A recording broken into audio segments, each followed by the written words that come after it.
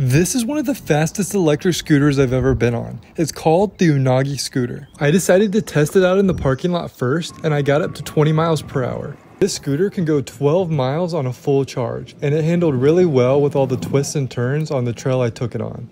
I took a quick break to relax and enjoy some of this amazing weather outside before taking the scooter on one last loop around the park. I love how portable it is. With one click of a button, I was able to fold it down and easily place it inside of my Tesla. Unagi is definitely a scooter I would recommend checking out.